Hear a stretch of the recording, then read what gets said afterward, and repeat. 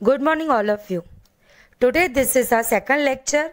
I hope you all have watched the first lecture and you understood that we have to conserve and preserve public properties and we have to follow all the primary duties. So, without wasting your much time, I am going to start with today's topic. Our today's learning topic is chapter 2 all together. First of all, I explain you the meaning of the chapter's heading. That is all together. What is mean by all together? Mean सब एक साथ हैं. We are all united. Now I am going to read the first paragraph and explain it to you. We use air, water and food.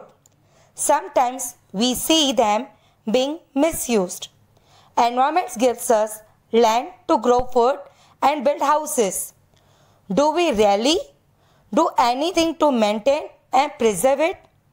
It means environment हमें रहने के लिए जगह air water fruit ये सब कुछ चीज़ें प्रोवाइड करता है तो क्या हम सच में उसको संभाल कर रखते हैं मेंटेनेंस उसको संभाल कर चलाना really do we we do it Now, paragraph number 2. Our country is a country with a rich diversity. Our country shows diversity in religion, caste, language, sex, and status. It means in our country, different types of religions like Sikh, Hindu, Muslim, etc. are there. One of the biggest example for this is the show of Tarak Mehta Ka Ulta Chashma. In that show, we can see that all the Gokul Dham members belong to different religion, caste and also their language. Like Jethalal and Daya belongs to Gujarati caste, Ayyar and Babita belongs to South Indian, Beer and Madhvi belongs to Maharashtra, Sodi and Roshan belongs to Punjab, though they all belongs to different caste religion also their language is different from one another. फिर भी वो सब एक साथ रहते हैं। वो एक दूसरे से जुड़े हुए। They all are live together although these diversity are there even then we are provided with equal facilities we should think about where this facilities are derive from उन, हम सबको एक जैसे फैसिलिटी दी गई है। फिर वो भले सिख हो, हिंदू हो, मुसलमान हो, गुजराती हो, गरीब हो, अमीर हो। तो हमें उसके बारे में सोचना है कि ये फैसिलिटीज़ हमें कहाँ से मिली। Third paragraph here we shall discuss about what facilities we are getting and how much we are alert regarding them it means अभी आज हम यहाँ पर डिस्कस करेंगे।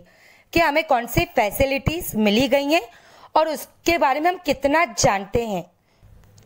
In this chapter one story is there the story is about a handicapped girl girl's name is Rupal a young girl Rupal along with all the other children in village wants to go to school she asks her father to send her to school but Rupal not go to school for study it means Rupal नाम की एक लड़की थी, जो village में दूसरे बच्चों की तरह रहती थी।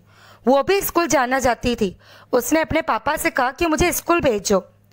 बट रूपल स्कूल नहीं जा सकती थी स्टडी के लिए। Rupal use to feel that she should go to school but she could not because she was not like other children वो भी चाहती थी फील करती थी कि वो स्कूल जाए बट वो नहीं जा सकती थी।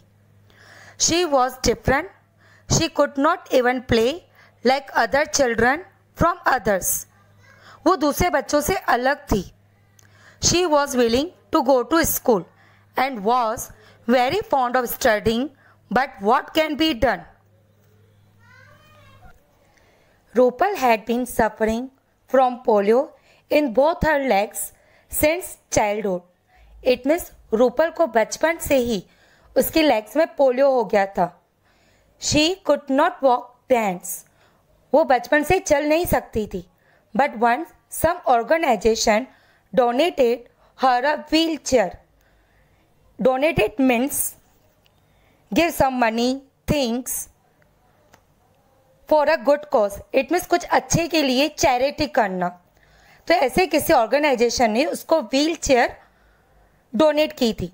She came to school with the help of neighbouring boy वो अपने एक पड़ोसी के साथ नेबरिंग मीन्स पड़ोसी, उस बॉय के साथ वो स्कूल जाती थी।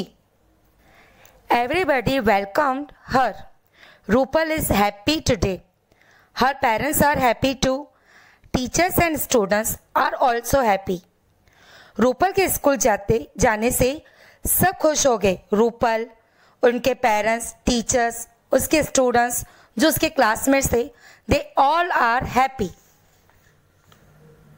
Rupal studies along with all the children tells stories sing songs answer the questions in the classroom everybody helps Rupal Rupal के स्कूल ज्वाइन होते ही रूपल के सब क्लासमेट उसके बहुत अच्छे से हेल्प करते थे और ऊपर भी अपनी स्टडी पर बहुत ध्यान देती थी।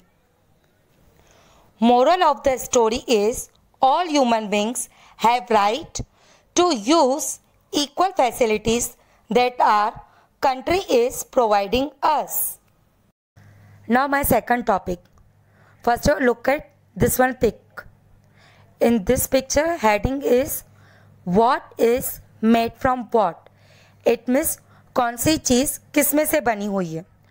Look at the first pic it is a cot is there made from wood ये वुड में से बना हुआ है.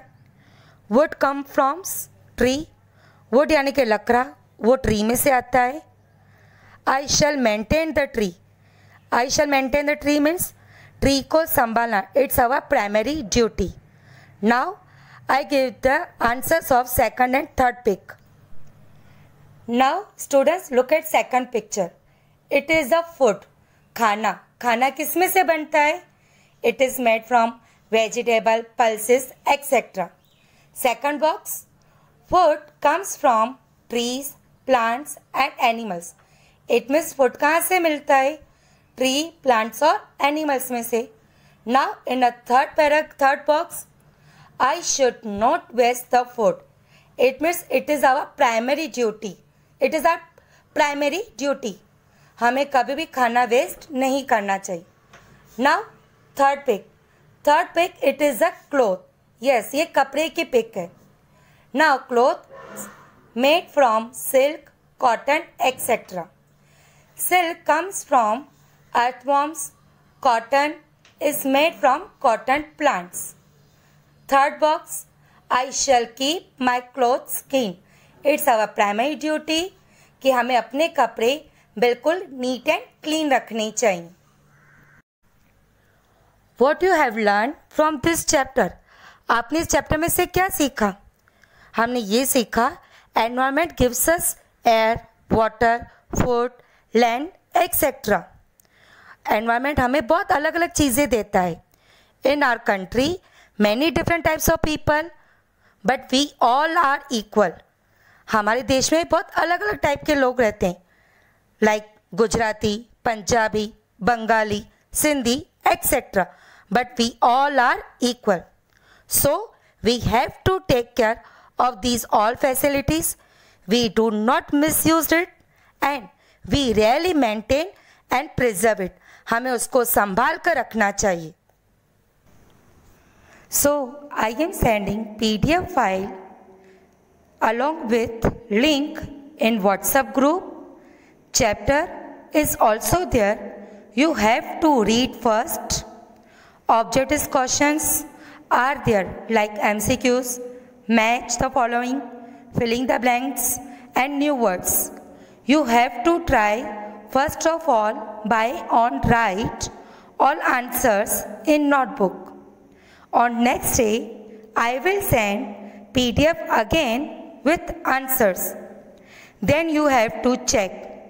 At last, if you are having any doubt, query, you can ask from me when I will take online session with you.